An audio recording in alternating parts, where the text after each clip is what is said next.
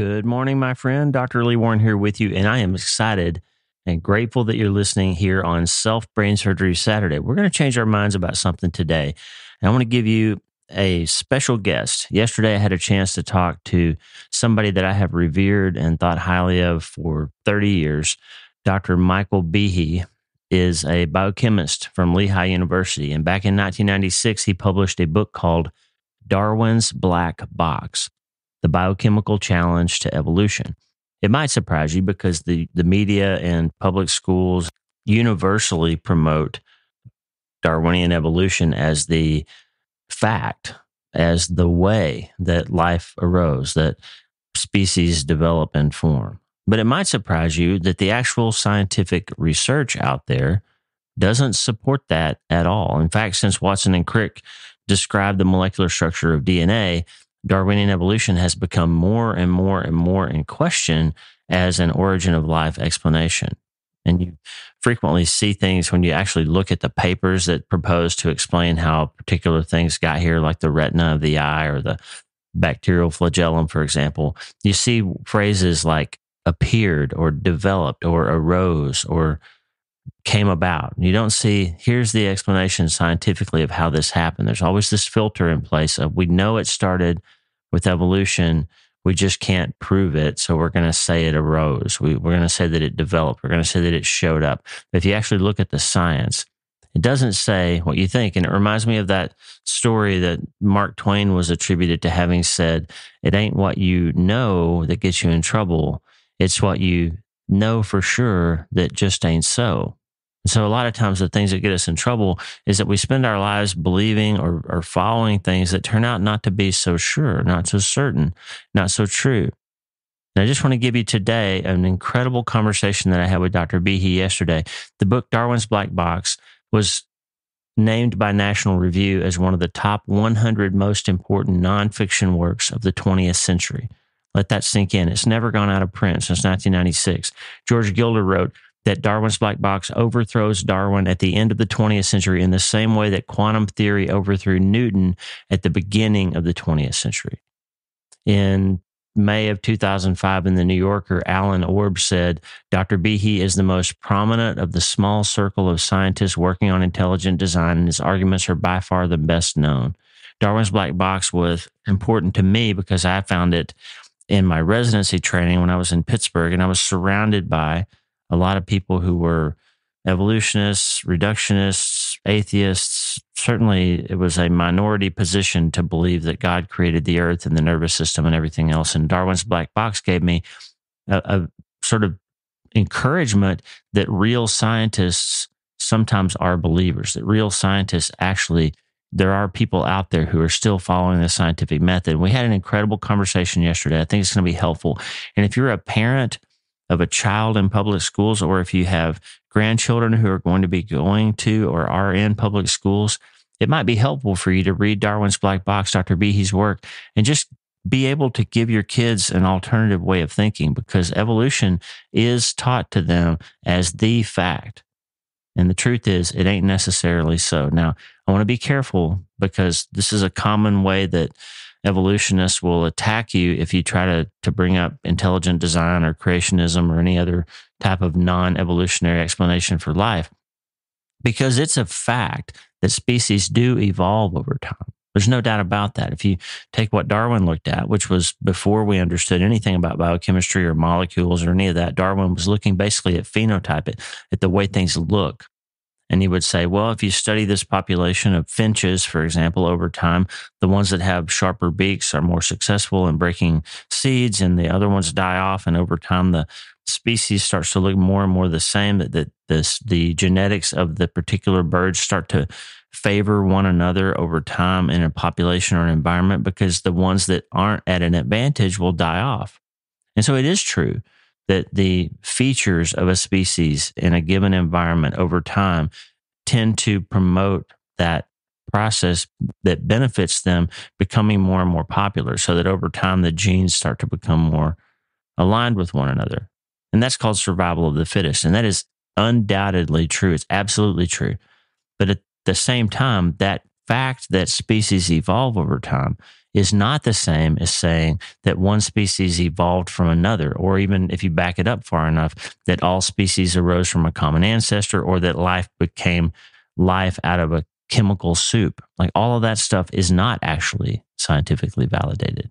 And it's now, since we know how DNA works and about the information in the cell and how complex cells are, what we're learning over time actually is that it's looking more and more and more unlikely that life could have arisen without the influence of an intelligent designer. So Darwin's Black Box gives us a look at that. The book has held up remarkably well. It was re-released a few years ago with the new afterward, and it's just a tremendous look at the actual state of the science of evolutionary biology and origin of life and I think it was a wonderful blessing that I got to talk to Dr. Behe. And I would just highly encourage you to read his books. He's got several books, but Darwin's Black Box is the one that kind of led me to understanding that I wasn't alone and believing that we were created and fearfully and wonderfully made. This will encourage you and if you find yourself a little bit lost in the science, just understand that the book itself is written from a lay perspective. And if even if you don't know the first thing about biochemistry or molecular biology, Darwin's Black Box will give you a really good handle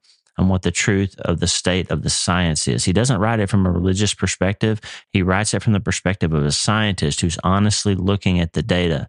And I think it'll be very helpful to you. But before we get into Darwin's Black Box, I have a question for you. Hey, are you ready to change your life? If the answer is yes, there's only one rule. You have to change your mind first. And my friend, there's a place where the neuroscience of how your mind works smashes together with faith and everything starts to make sense. Are you ready to change your life? Well, this is the place Self Brain Surgery School. I'm Dr. Lee Warren, and this is where we go deep into how we're wired, take control of our thinking, and find real hope. This is where we learn to become healthier, feel better, and be happier. This is where we leave the past behind and transform our minds. This is where we start today. Are you ready? This is your podcast. This is your place. This is your time, my friend. Let's get after it.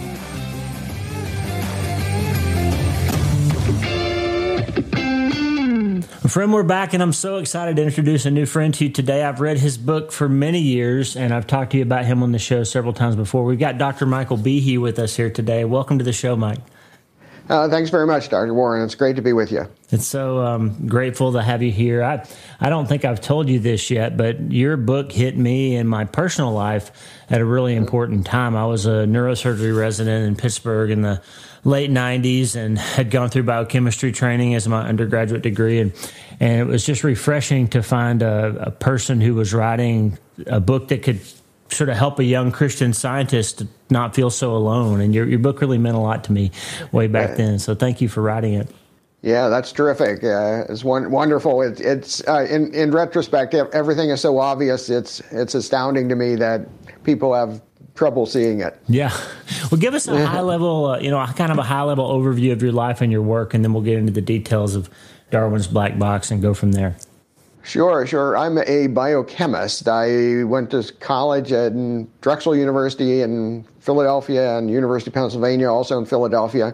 Studied biochemistry, which is the study of the molecular basis of life. And I was just interested in science uh, my whole life, as yeah. many uh, guys are. And I um, did a postdoctoral studies at the National Institutes of Health. I worked on sickle cell hemoglobin in graduate school and in DNA structure and um, in uh, postdoc. And uh, so I didn't have any particular views in mind about evolution. I, I, I didn't think about evolution in my younger days. Right. I just wanted to be a scientist, a regular um, uh, professor, and I eventually got a job at Lehigh University, and I was plugging along doing regular stuff. But then I uh, kind of serendipitously read a book skeptical of evolution, and uh, that kind of made me curious because I had never heard anybody express skepticism about evolution in my studies, and here I was.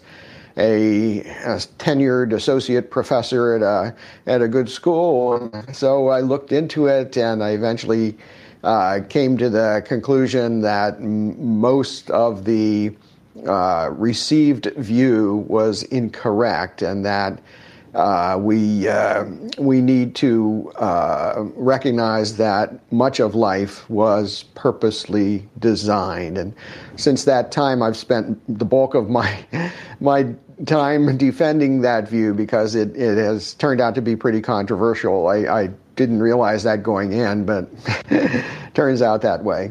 Wow. Now, were you a Christian already? At that time, or did you come to faith later, or what was your your experience with faith along that way? No, I, am uh, I've been a Christian my whole life. I'm a Roman Catholic. I was born into a Catholic family. My parents were practicing uh, Catholics. I went to parochial school, uh, but uh, I in Roman Catholicism and I guess other um, uh, uh, other Christian denominations uh, one can view evolution as sort of a the- in a theistic fashion that yeah. well maybe God set the universe up to unfold and you know he he uh, made the laws and so on and so even if uh, things unfolded the way that uh, many scientists think that is apparently random things God foresaw that and and uh, uh, so it's not a challenge to that view uh, of creation. Yeah, that seemed just fine to me. I, I, didn't care, you know, what the heck. I, I was interested in, yeah. in, other things, and I was I was taught in parochial school that Darwin's theory was our best guess at how life unfolded. So it was not for religious reasons that I started to question Darwin's theory. It was purely for scientific reasons. I, I read a book from a scientist, a geneticist in Australia by the name of Michael Denton. Yeah.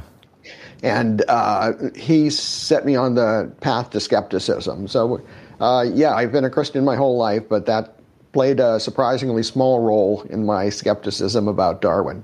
Well, I think it's important to, to just parse that out a little bit because I think the those of us who are drawn to science, we either have we either find ourselves kind of not thinking about the whole evolution situation, sort of believing in God and, and believing in science, and then sort of having this cognitive dissonance about how the two fit together. And I think that's important for parents too. If anybody's listening out there with parent with kids or grandkids and you don't know what to think about school and the things that we're taught and, and all of that. But I think it's also important because I got all the way to neurosurgery training, Mike, and and you know spent all these years working in biochemistry labs with with everybody else basically in my world being Darwinian evolutionary biologists, and I always was sort of the kid in the room that was weird, you know, that that went to church and, and, and felt differently. So it was interesting to me when I started reading your book back in the '90s. Like, wait a minute, like the the things that the scientists teach us and the things that the school books teach us aren't really scientifically validated. They're not really proven the way that science ought to work. So maybe just start there and talk to us a little bit about about science and worldview and some of the things that led you into into questioning evolution in the first place. Okay, uh, yeah. Well, uh, it's interesting. Uh, growing up, I never thought there was such a thing as worldview. Just what people told me. You know, uh, what you're taught in school. I always took my teacher's word for it. I mean, right. I was just a kid, you know, what what do I know? And even as yourself being trained in science and even in graduate school and further, uh, everybody just assumed that evolution was correct and it, and it was uh, uh, it could explain everything we found out about life. Uh, and it's surprising how those background assumptions can really defeat any critical thinking, even in people who have the ability to know better. I, I've written a couple times about a conversation I had with a fellow postdoc uh, at the National Institutes of Health back in the 1980s. Uh, she's uh, deceased about 20 years or so ago now. But we were, she was a fellow Catholic. Uh, her brother was a priest, and we were talking about the origin of life. And we said, you know, what would it take to make the first cell? Well, she, well of course, you need DNA. We would say, yeah, yeah. Well, but you'd, you'd also need, you know, proteins, of course, and you, you need a, certainly a membrane and metabolism and and we kind of looked at each other and, and stared and said, nah, can't happen. But then what did we do? We laughed and we kind of turned around and continued with our business. And we figured that, uh, well, if we didn't know, well, somebody must know, or somebody will figure it out soon or eventually or something. So, just from the background assumption that somebody knows how this happened, even if you scratch your head and said, I, gee, I don't see what's going on here, you don't take it any further. And right. it wasn't I, I, think I mentioned this this book uh, called Evolution: A Theory in Crisis by a guy named Michael Denton. That was kind of a critical read for me back in the mid 1980s. Um, that he was, as I said, a geneticist. He was. Uh, he said he was an agnostic. He didn't care uh, about higher implications. He was just mad that he was being constantly told that Darwin's theory explains all this stuff when he had uh, many, many, many problems. He saw many problems for it. Um, so, uh, uh, but it's it's interesting for viewers to know when you think about it now. Everybody accepts evolution, but back in the day when it was first proposed by Charles Darwin, nobody knew what the foundation of life was. That's right. Yeah. Darwin was talking about, you know, birds and reptiles and, and plants and so on. And features but, of them, the way they looked. That's right. Yeah, when this this arm was bigger, this one was shorter, and you know, uh, transformations at kind of the gross, what we'd call the gross anatomical level. Right. Uh, but the cell back then was thought to be just a little piece of jelly, uh, protoplasm. Nobody knew what a cell exact, exactly was. Even molecules. We now know molecules are kind of the foundation of matter, certainly in life. But nobody was sure if molecules actually existed. They were kind of theoretical entities. So the point is that people were actually clueless about what the foundation of life was. And so they speculated at these higher levels. It's kind of like, you know, looking at a computer and not knowing what a computer is and saying, well, it's kind of got this keyboard. You know, this typewriter over here has a keyboard too. Maybe somehow they have something to do with it. and the, the, as science progressed, and especially since the 19, early 1950s, uh, it's been discovered that the foundation of life, the cell, is is astoundingly sophisticated and uh, complex. That's right. And um, that what we took to be pretty simple processes have, have turned out to be very, very uh, involved. Um, and I detail a lot of them in, in my writings, but just for the in case anybody in the audience hasn't heard of it yet, the, the cell is run literally by machines. Yeah. Ma- machines made out of molecules. And I, I, guess the most famous one that uh, is kind of a paradigm of intelligent design is uh, something called the bacterial flagellum, which is literally an outboard motor that bacteria use to swim. And it's got all sorts of mechanical parts it's got a propeller and a motor, and it's got clamps to hold it in place, and it's got regulatory apparatuses. And it's a real machine, it's a nano machine. And trying to envision how something like that could come about step by step in a gradual Darwinian process as, as uh, we're taught in school is enormously difficult. Um, and even more surprising to me when I first became skeptical of this stuff back when I read that book, uh, Evolution Theory in Crisis in the 80s. When I first read that, I said, well, yeah, you know, we, when you study biochemistry, you see all of these sophisticated systems, and I had all uh, often wondered, you know, how, how in the world did that evolve? But I figured somebody else knew, so I yeah. didn't bother with it. But then, after reading that book, I said, "Well, who who has explained this stuff?" Because Denton said, you know, a lot of things were big problems. And so I went into the science library and looked in the journals where people would have published papers explaining how this machine developed step by step by this pre- from this precursor. and Here was the selective effect, and this is the intermediates it would have gone through. And I was astounded to find that there were no such papers. And I don't mean a small amount of them, I mean no papers. Uh, except you know at the broadest speculative level. Right. Uh, so um, yeah, it's it's it's it's amazing that this is really a, one of the kind of pillars of modern thinking, and yet the uh, evidence behind it is is virtually nil.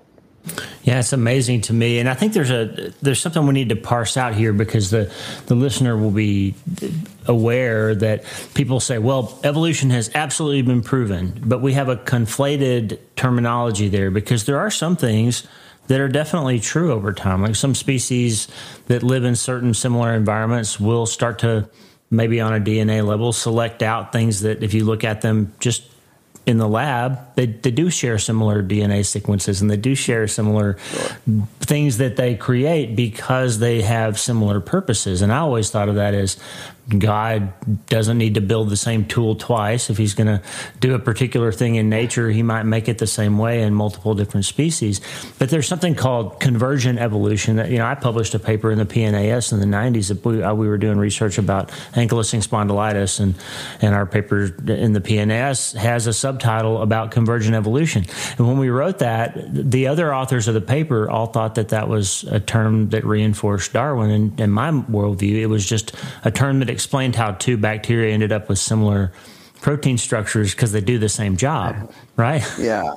Yeah, sure. Yeah, yeah. You have to be careful because, as as you said, evolution is this very flexible word, word right. and people use it in different senses, and they kind of slide between different senses, and um, so uh, in general, there are three major uh, senses in the idea of evolution. The, f- the first is common descent. That is the notion that, well, creatures today, living today, are descended by birth and death from creatures that lived in the in the misty past. Right. And you know that's an interesting idea, but in, in my own view, that's that's kind of trivial because it, it doesn't say where those creatures in the past came from. It doesn't say how they may have transformed into creatures today. It just says, well, they were there and now these thing, these different things are here. So, it, it, okay, it might be an interesting uh, statement about natural history, but in a sense, it's trivial. Yeah.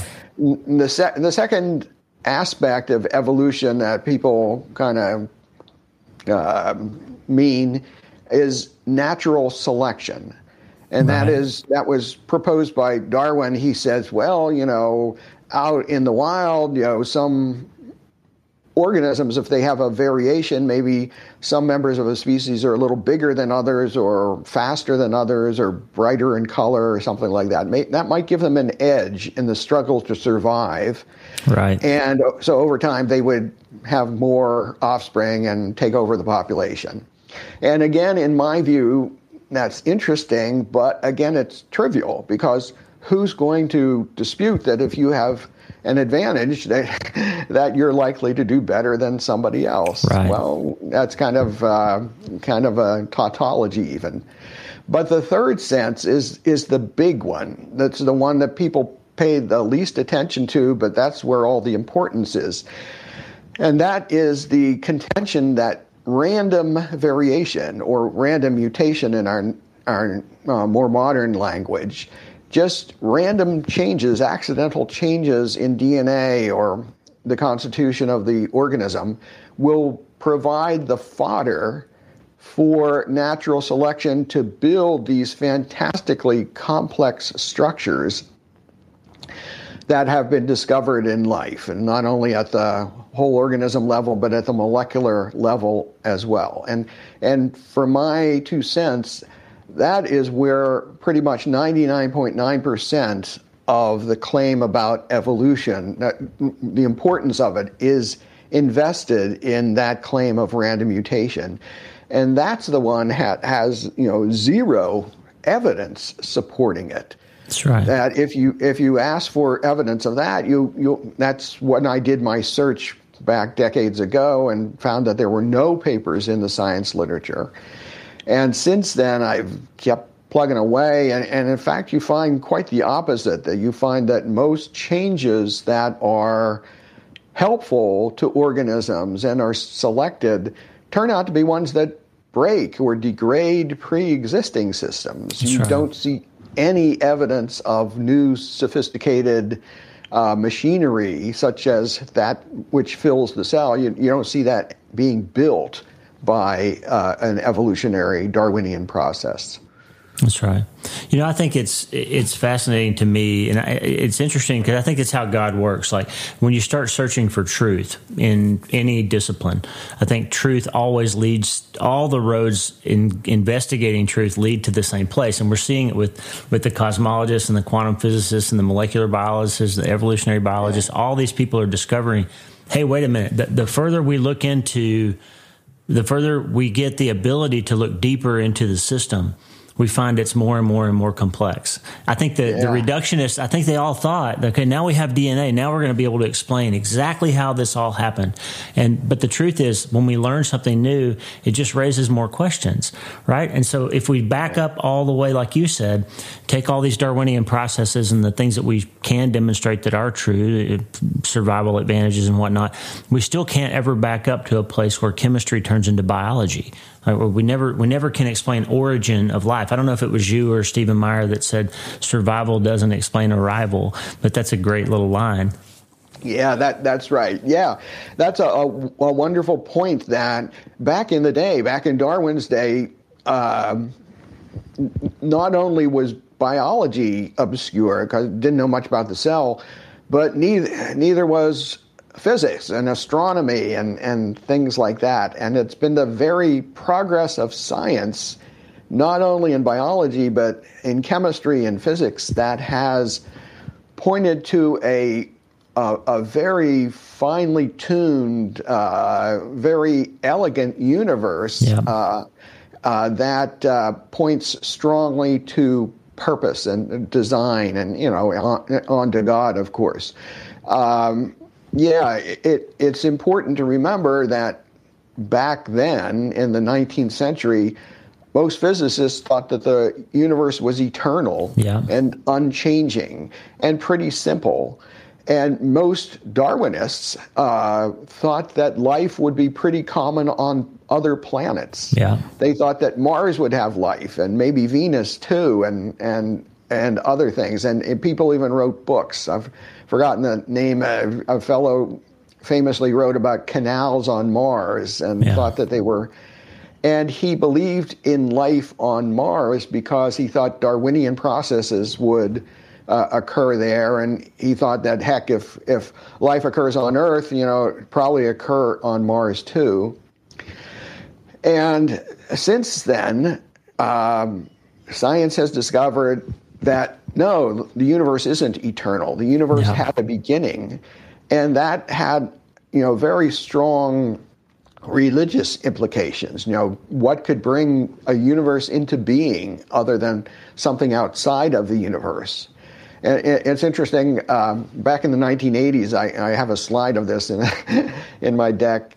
There was an editorial in the journal Nature, which is, of course, the leading science journal in the world, Yeah. and the the editorial had the had the headline "Down with the Big Bang." Yeah, you know, down with the Big Bang in a science journal, because he said it said that the Big Bang gives creationists aid and comfort because it points to a beginning of the universe. Yeah. So it's been a remarkable consilience, bringing together of all sorts of branches of science biology, astronomy, physics, chemistry, geology, you know, the, the place of the earth, the, the kind of privileged place the earth occupies in the cosmos, the, the many wonderful things that allow Earth to have water and the water to be a a um, an effective solvent for for living systems and uh, many many other um, features that people didn't think about back yeah. uh, 100 years ago. Uh, so I, I, like to point out that the very progress of science has been pointing insistently beyond the universe for an explanation. It's it doesn't explain itself as many scientists such as Darwin and, and other folks have tried to to say, but rather the it it just more and more, and the more you know about science, the more strongly it supports a uh, the view that you know something outside the universe, God, is behind it. That's right.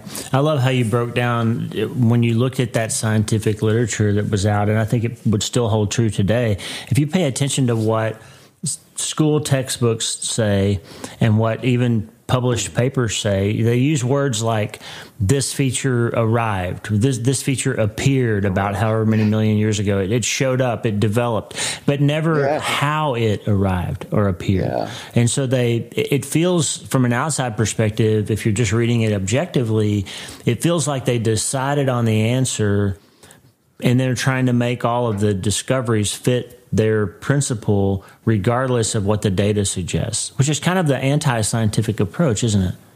Yeah, it, it, certainly is. And if you look into it um, and think about it for a while, it, it, it should make you mad that yeah. school, school kids are being taught stuff that professional scientists know to be false. Yeah. And that is that we know how these structures might have arisen uh, in some naturalistic uh, way. So, even Origin of Life, if you look at textbooks for high school students that mention it, they'll say, oh, you know, there was this primordial soup, or right. maybe this happened. And they give, they intentionally give the students the impression that we're almost there at explaining the origin of life. Right. And if you look in professional journals, why, you know, just a month or so ago, uh, an article was written by two origin of life professionals who are no sympathizers with, with theism or intelligent design that essentially said, we haven't a clue how life started and we should, you know, toss around more different ideas. So the point is that the textbooks intentionally give kids the wrong idea, I think because they want to just say that, well, science can explain it all for you, and right. we should all assume that you know naturalism is true. Yeah. I don't know why, but but it, it's, it's certainly the case. That's exactly right, and we have this conflation too of people who are scientists I put quotes around that if you're watching. Um, scientists have a media credibility where when a scientist, somebody like Carl Sagan or Francis Crick, says something, then it's given this weight and credibility as if it's been proven to be true. But if somebody who's a Christian, who's also a scientist, says something, then the burden of proof falls on you, right? So, like, uh, here's a quote i will read you from Francis Crick. I'm sure you've heard. You know, my work as a neurosurgeon, I'm very interested in the issues around mind and brain and the dualism there. And is the mind separate from the brain? Is the brain create what we think of as mind. And Francis Crick, who discovered, you know, was one of the ones who discovered the molecular structure of DNA, said, You, your joys and your sorrows, your memories and your ambitions, your sense of personal identity and free will are in fact no more than the behavior of a vast assembly of nerve cells and their associated molecules. You are nothing but a pack of neurons. And so here's Francis Crick saying, that mind is just a derivative of brain and that's basically gospel once he says something like that because he's a scientist. But I think we yeah. have to we have to recognize that there's statements that are made by scientists, but they're not necessarily scientific statements, right? Exactly. They they are philosophical. They say that the only thing that exists are this is the stuff that we study. You know, so we're scientists. We study matter, we study nerves, and so on. Therefore, mind doesn't exist. It's, right. it's only it's only nerves and connections between nerves and and so on. But that, of course, is you know big begs the question. Yeah. Another another convenient uh, result of that is that it, it makes scientists really very important too. That's right. If, after all, if they if they can explain everything, why then they are they are the high priests of society and philosophers and theologians and uh, let alone clergy, and uh, they can just be safely uh, safely ignored. But it, it's right. really astounding, astounding if you read Crick's introduction um, uh, that you just quoted and stuff. You'd think that he he got that from some some experiment or right. other. but it's just that he he's saying, well, you know, there are nerves, and I don't believe in anything else, so this must be true. It's a deduction. It's not a discovery. It's a deduction from materialistic principles it's a self-defeating argument as well because if you believe that you have no free will because everything you think is just a product of, of a firing of a neuron then what yeah. would the purpose be in writing a book to convince somebody that they didn't have free will yeah, yeah, that's a, a, wonderful point. There, there's a man named Philip Johnson who was active in the intelligent design movement, and he died a few years ago. And uh, but he said, you know, think how silly it would be if Francis Crick had written, you know, uh, you know, I am just my nerves, and I am just I am just a pack of neurons. so who would listen to you know a person like that? Why should we listen to a pack of neurons? but he said you are just a pack of neurons. Yeah, that's Stephen right. Stephen Hawking did the same thing. He said everything science will explain everything eventually. There's no role for theology, no role for philosophy. It's all science. But that's obviously a philosophical argument and not a scientific one. It's uh-huh. interesting to me. You, you, you mentioned the, the phrase intelligent design, and just in case somebody is unaware of what that means, to talk about the the philosophy and the science of intelligent design for a moment. Okay. Well, intelligent design, it's, it's a phrase that, uh, but it means something that we do every day. It's, it's, you know, a question, you know, can you tell that something has been purposely arranged or is the result of intelligent activity versus uh, versus just other unintelligent forces. And if you're walking down the street, you might look you know to the left and there might be you know some dandelions growing on somebody's lawn and you you know a few weeds over here and you look to the right and by the mailbox there's this nice arrangement of flowers growing out you know that the one was purposely planted and the other is not because yeah. It's been arranged by the you know to beautify the, the that particular area of the of the um, ground. So uh, the question is, how do we recognize that? We all know that there are intelligences. We ourselves have intelligence. Uh, intelligence. We recognize that other things are intelligent. How do we know that? You know, we do it all the time, but but how do we know it? And it turns out the key to recognizing something as the result of intelligent activity is just that. If we see that parts have been arranged for some purpose, because only intelligent beings have purposes. Yeah. Nature, unintelligent nature, doesn't have a purpose, it just does stuff. So if we see like a machine. I, I use an example of a mousetrap in my book, Darwin's Black Box. And if you just think of something like that, anybody who saw that would um, quickly say, oh, well, that, that was, that's purposely designed. And why? Is it a religious conclusion that you say it's purposely designed? No, because you see the purpose, you see the the spring there and the, the part that'll smack the mouse and the board that everything is arranged on. So we, whenever we see a purposeful arrangement of parts, we conclude that it was designed. It is yeah. the result of intelligent activity. And we have discovered such things in the cell and in life in general. Uh, but in and you know, uh, in particular, we've we've discovered molecular machines like that bacterial flagellum I talked about. It's now literally an outboard motor. Yeah. You know, it's more sophisticated than say a mousetrap. So the conclusion of intelligent design is that we can conclude that those things were purposely designed because we see the purpose in the arrangement That's how we determine uh, something was designed. Now, of course, uh, Darwin and his uh, his uh, followers later said that, well, no, we can explain it otherwise as the result of random changes and selection. But if you look in the literature, that that's all brag, no fact. You know, they yeah. they can't, and and it's quite the opposite as I've uh, written about. But the point is that intelligent design is not some fluffy philosophical or theological idea. It's, it's just looking at something and seeing that uh, parts have been arranged, and, and it's a something we do every day. And now, when we have the ability to look at at things in biology up close and the molecular level and so on, we see exactly that. Purpose suffuses uh, the cell, and and so the argument of intelligent design here is that we should not ignore our uh, our uh, the conclusion there simply because we prefer some other explanation.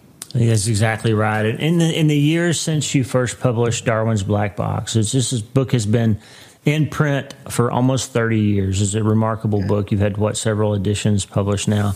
Tremendous book. The audiobook's outstanding as well. And I think in the years since that's been published, what's happened on the scientific side in terms of origin of life research and, and Darwinian evolutionary research and, and, intelligent design research and where do we stand now? Like if you if you had an honest, unbiased observer who looked at the world's literature in biology, what would reasonable conclusions be now as to how we all got here? Well, uh, you're asking a, a, biased observer to say what the unbiased observer would say. We're back with Crick. But, but let me just say this this about that. That yeah, uh, coming up on 30 years, and I talked about a number of systems in Darwin's black box blood clotting, the bacterial flagellum, yeah. intracellular transport, a bunch of other things. And people hated that book. A yeah. lot of Darwinists simply despised it, uh, including a lot of really, really smart scientists. And they were highly motivated to show that it was correct. And yet, in the 30 years since then, even though in general science and particular biology has progressed by leaps and bounds in figuring out how things work, nobody has been able to explain how any of those things might have arisen through a Darwinian process. That's right. People have described in better detail how they work, and we've seen that they are more sophisticated, but nobody has published anything. And, and you can look in the literature, mean, you can do a literature search. Look for, you know, how the bacterial flagellum might have arisen. You'll say, well, you'll see just uh, papers that say, well, here, this thing looked like this thing here, or yeah. that thing looks like that thing there. And, and uh, but you'll you won't see you know how this could have given risen even to something closely related to it. That's right. So, uh, one conclusion is that I stand by everything. And I, I wrote 30 years ago, and the situation has gotten much worse for Darwin's theory in the meantime.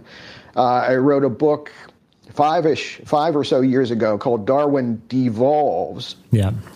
And the gist of that is that, in fact, now that we can look at DNA much more closely, we have the ability to sequence it and follow mutations at the molecular level very closely, which we didn't have even 20 years ago. You can see that the uh, the adaptations of organisms that people point to as examples of how evolution might work, like dog breeds, new dog breeds, and things like polar bears being derived from brown bears and, and other such things, they do have mutations that do adapt them to different uh, environments, but they're almost all by degrading genes that already existed in the ancestor organisms. Yeah. So they are devolving rather than evolving. Wow. You know, it's interesting that that that can help them fit better with a particular niche. But it, the long and the short is that they are losing abilities rather than gaining abilities. Wow.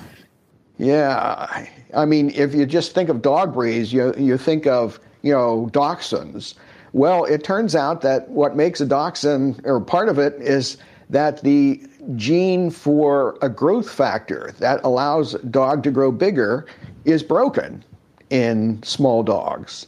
And in some larger, highly muscled dogs, a controlling element that stops growth when it's gotten to be the proportionate size is broken. Yeah. And dogs with curly hair, a gene in uh, in hair development is broken.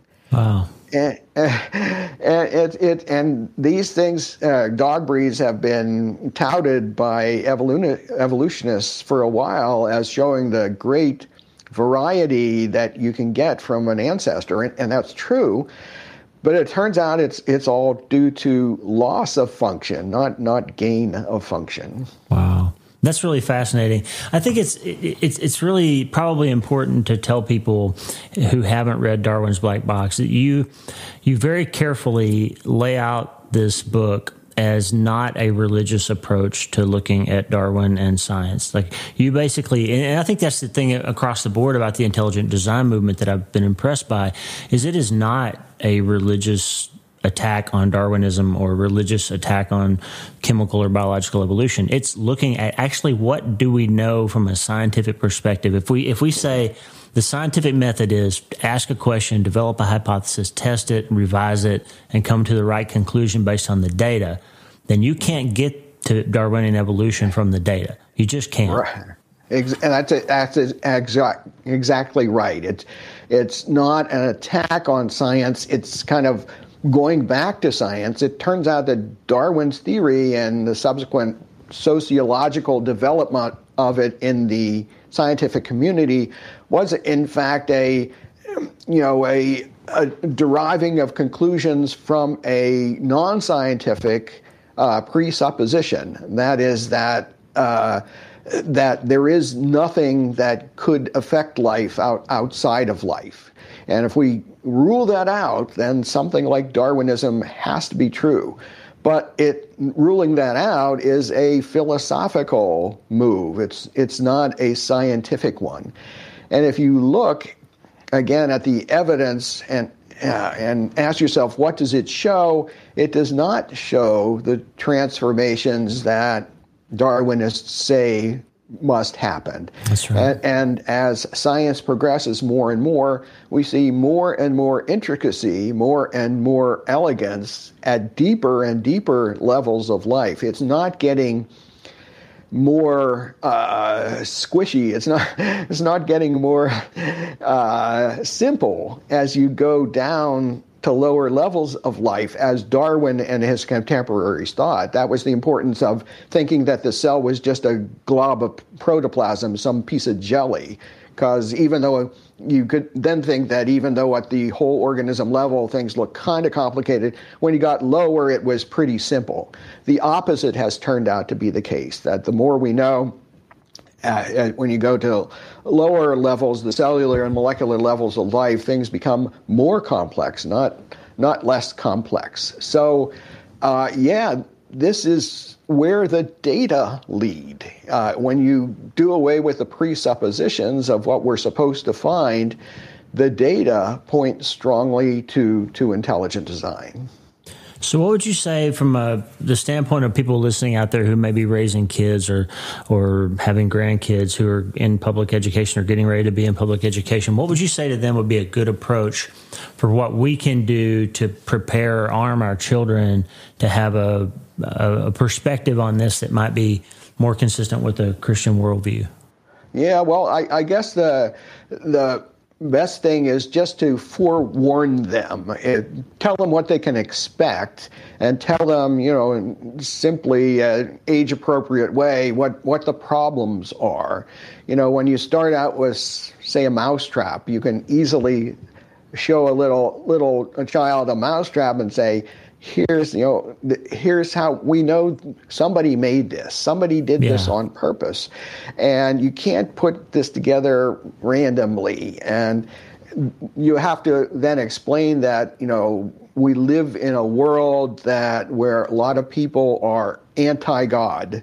They don't want god to exist. They don't want god to have acted in the world and so you have to warn them, saying that you know sometimes the things you'll hear in school are influenced by folks with this this um, point of view, and and yet it doesn't it doesn't work. It doesn't fit with the mousetrap. It doesn't fit with your hands and fingers and how marvelous they are and, and how they work. So you should be respectful to your teachers. You should, you know, read over what they tell you to read and stuff. But, but you have to realize we live in a fallen world, and so people we talk to sometimes will give us wrong information. That's right. Well, something like that. I love it. So if we have two choices in front of us as we as we land this plane here today, we have two choices. We're the products of random events from billions of years ago that that have led us to this place and these lives that we have that may all be just the product of cellular activity. And there's an empty void that we're going to go to after we die, or there's purpose and meaning in our lives that were designed for a particular purpose and we're exactly where we were supposed to be. Like between those two extremes, after your long and storied career in science, like where do you land and how can people find hope in the work that you've done? Oh, well, you know, just as almost everybody in the entire world thought up until Darwin and even mostly afterwards the world is filled with purpose, and everywhere yeah. we look, uh, you can you can see it. You can see it, of course, in nature. Everybody loves nature. You go out for a walk in the lovely woods, and then the sunshine and the beautiful yeah, weather you can have sometimes, and you can see it in your hands. You don't have to be a scientist. You say, "Holy moly, look how my hands work, and I can see yeah. stuff." And and this doesn't happen by chance everybody in the world knew that, you know, the world was not self explaining, that somebody created it. And uh, Christianity, of course, uh, talk, you know, knows that God created it and, and, so on. But everybody knew that life was created. And um, that's certainly what I understand. And it's been a real tragedy of modern times that we have allowed ourselves to be talked out of this by slick folks in lab coats yeah. saying, no, no, no, you're just a bag of neurons. Uh, you know, and that's, that's terrible because, you know, it, it leads to despair for many people. Uh, you know, it might make some people feel self-important, like the scientists who push this line of thinking but it's a tragedy for almost everybody else, and it's utterly against uh, utterly against the facts. So um, here we are, though, and nonetheless, you can educate yourself, you can educate your kids, and whoever else will listen to you just by by reading and and seeing that, yeah, your intuitions, your what you see in the world, it's true. It, it's really true. That's the best scientific explanation for how we got here, let alone uh, without even touching philosophy and, and theology. Wow, beautiful. I've been looking forward to this conversation, Mike. You've done a great career's worth of work in helping people sort of parse out what's real and what's just media spin. And I appreciate your time so well, so, so much. And thank you very much for the work that you've done and, and your time here on the podcast this morning. Absolutely. Thanks very much for having me. I've, I've greatly enjoyed our conversation. What a treasure. What a treat. What an honor to have a chance to talk to Dr. Behe. Listen, I can't encourage you highly enough to read Darwin's Black Box and his other book, Darwin Devolves. This is a look at the truth of the state of the science. And again, if you're not a believer, you don't have to be a believer to approach science as a scientist. And what, what is science? Well, science is the idea that you look at something and try to explain it And then you ask questions of it and devise experiments to test it. And if the experiments don't validate the assumption that you made, then you change the assumption. But the problem with Darwinian evolution is that they decided, and by they I mean the materialists, the the the scientists who, along with Darwin, believed from the start that everything needed to be explainable through natural processes. That's what naturalism, by the way, is. They said, we don't believe in a God or an external creator, and you have to explain everything from a scientific point of view. Science can explain everything. Science is more important than theology or philosophy or any other type of learning. It's the only thing that really counts. That understand that is a philosophical position. And that's where they started with evolutionary biology. They started with the premise that we know that there's no supernatural, there's no God, there's no creator. So how do we explain what we see if we, since we know that there's no supernatural, right? Which is a terribly unscientific position. My, my teaching to you all the time, my conversation with you is science is a process of asking questions, designing experiments to answer those questions and revising the questions based on the results that we get, not to continue to hold up the, the answer that we started with and make the data fit the answer. We see that with all kinds of things, climate science and other things where the decision's already been made of how we're going to proceed. We are going to believe this. We're going to teach it. We're going to enforce it. We're going to make laws about it. We're going to make businesses around it. And if the data doesn't support it, then we ignore the data or we attack the scientists who are promoting the data. And that's just not scientific. Okay. So what I really appreciate with Dr. Behe is and whether you believe in God or not, whether you believe in anything related to creationism or any of that, what I appreciate about Dr. Behe is he was a real scientist who looked at the data and said, wait a minute, we've got a problem with the data here. The data don't support the ability of complex systems to have arisen by themselves. The data don't support the idea that one species can develop into another. The data just don't support it. So what else could? And that's what led to the theory of intelligent design. Like basically, if you, as he said in the interview, if you see a complex system in the world, a mousetrap, for example, you don't assume that it just sprung into existence from a, from a bunch of parts lying around. But even if it could do that, then the question would be, where did the parts come from? How did those arise? And how were they all perfectly arranged to fit together in a way that would produce that function? Well, that's what's happening inside your cells. And if you're a parent or a grandparent, I would just highly encourage you to arm yourself with this knowledge so you can help your children be prepared for the onslaught of information they're going to receive that points towards this conclusion that has already been made that we arose through unguided, accidental processes from nothing. And I just want to tell you that your friend, the scientist here, your friend, the published neuroscientist, and I've got legit chops there, by the way. I have a paper in the Proceedings of the National Academy of Sciences. I have a paper in the Lancet. I've done the work too. And so, as a real scientist, I'm telling you that there's more to the story than your kids are going to be taught in school. And some of the things that you're taught in school, some of the textbooks, for example, that you read, will show things like Java Man or things like transitional forms in the fossils. And we know now that those things were false, that they were not true even when they were published and yet they still show up in even college textbooks because they support the narrative. So just take a step back, take a chance to read Darwin's Black Box and appreciate that somebody like Michael Behe's out there. And he's not alone, by the way. The voices are getting louder. And the fact is that you have to have more faith now to be an evolutionary biologist than you had to have in the 1950s. You're, you're in a better position, a stronger position if you're arguing from reason and real science than you are if you're holding on to dogma and belief. That the tables have turned a little bit, and Dr. Behe helps us get that idea in our heads. And I think it was a tremendous conversation. I hope you enjoyed it. And I just want to encourage you that you can't change your life until you change your mind. And maybe you need to change your mind about some of the things that you've been taught. And the good news is, my friend, you can start today.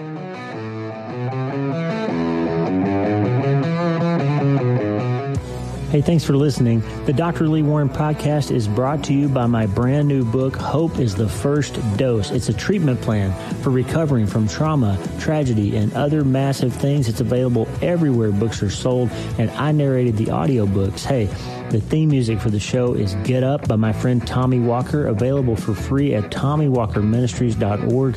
They are supplying worship resources for worshipers all over the world to worship the Most High God. And if you're interested in learning more, check out TommyWalkerMinistries.org. If you need prayer, go to the prayer wall at wleewarrenmd.com slash prayer, wleewarrenmd.com slash prayer, and go to my website and sign up for the newsletter, Self Brain Surgery, every Sunday since 2014, helping people in all 50 states and 60 plus countries around the world. I'm Dr. Lee Warren, and I'll talk to you soon. Remember, friend, you can't change your life until you change your mind. And the good news is you can start today.